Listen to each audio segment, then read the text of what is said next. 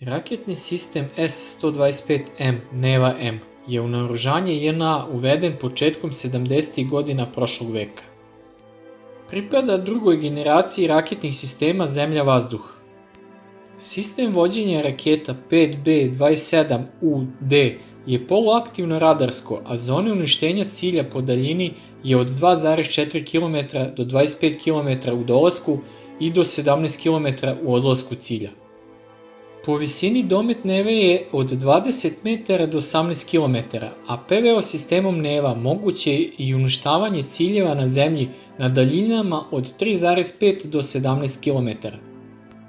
Prva značajnija modernizacija Neve je izvršena sredinom 80. godina prošlog veka prema sovjetskom programu modifikacije, a vršena je nakon usvajanja tehnologije u remontnom zavodu Kosmos iz Banja Luke. Promene i poboljšanje su se ugledala u sledeće. Poboljšanje borbenih mogućnosti sistema pri gađanju brzih manevrišućih ciljeva u odlasku kroz Uvođenjem komande K6 kojim se obezbeđuje kašnjenje aktiviranja upaljača bojeve glave rakete kada se gađa cilj u odlasku koji vrši iznenadni protivraketni manevar neposredno pre susreta sa raketom.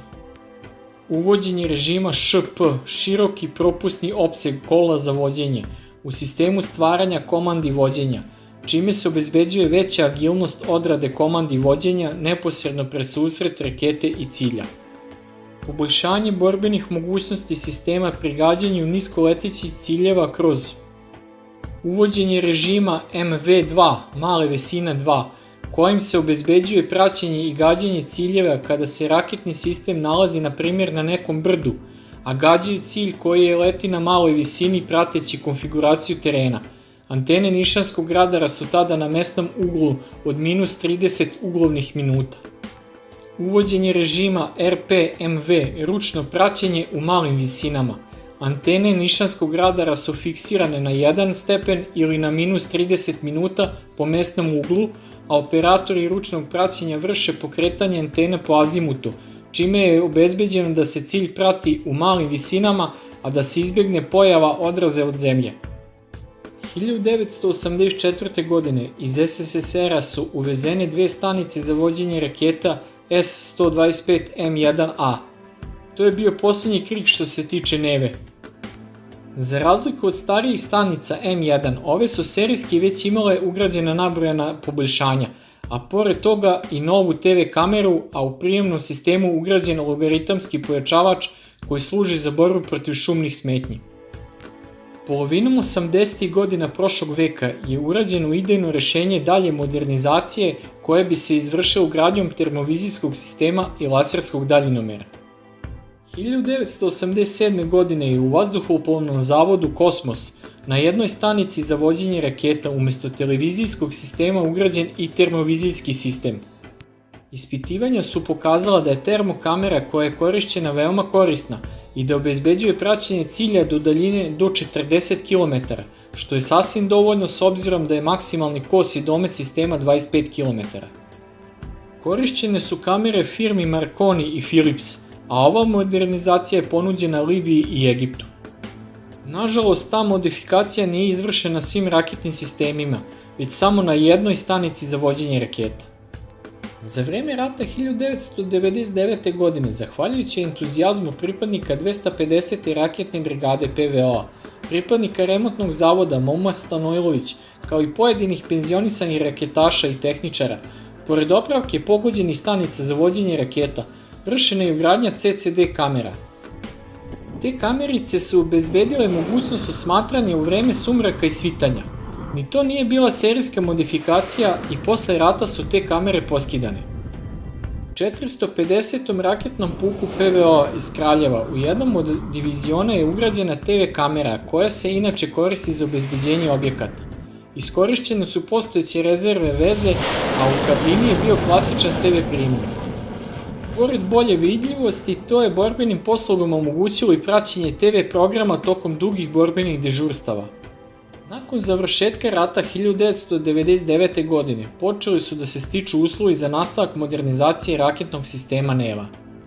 Integracija i ispitivanja laserskog daljinomera su vršeni 2000. godine, ali sada na poligonu Nikinci u Srbiji. 2004. godine izvršena kompletna modernizacija jedne stanice za vođenje raketa prema projektu VTI-a, a buhvatala je sledeće. Zamena televizijskog sistema termovizijskim, ugradnja laserskog daljinomera, ugradnja logaritamskog pojačavača, ugradnja sistema za spregu stanice za vođenje raketa i osmatračko-akvizicijskog radara P-18. Termovizijski sistem omogućava osmatranje, praćenje i gađanje ciljeva danju i noću čak i u uslovima kada postoji manja oblačnost. Ranije je TV sistem mogao da bude upotrebljavan samo danju u uslovima dobre vidljivosti.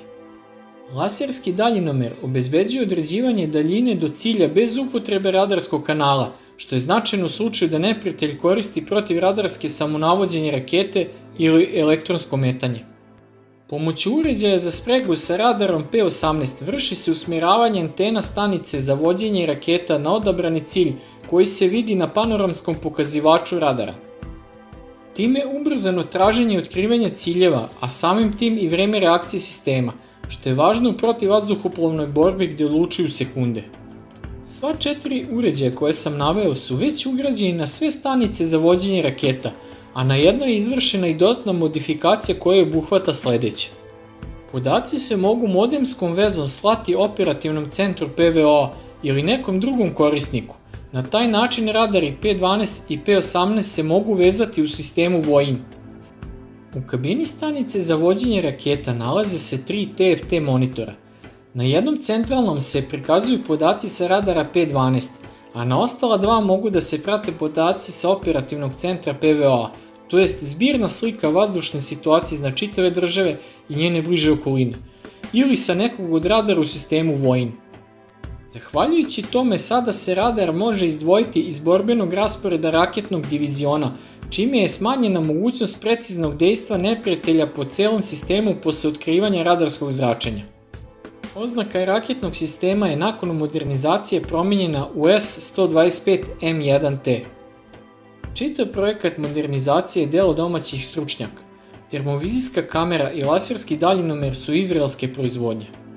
Logaritamski pojačavač je projektovao Infiz, a sistem za spregu sa radarom P18 i univerzalni ekstraktor radarskih podataka su domaće proizvodnje. Uređaj za automatsko praćenje termovizijom su projektovali naši stručnjaci, a jednim delom se bazira na komponentama PC računara. Navedenim modifikacijama je postignut tehnološki nivo raketnog sistema čija je smanjena generacijska razlika u odnosu na savremene sisteme i povećan je kvalitet upravljanja vatrom.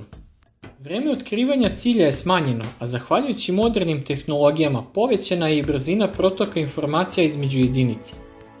Molim za vaše mišljenje da li je domaća modernizacija PVO sistema NEVA na tehničkom nivou ruskih i beloruskih modernizacija ovog sistema.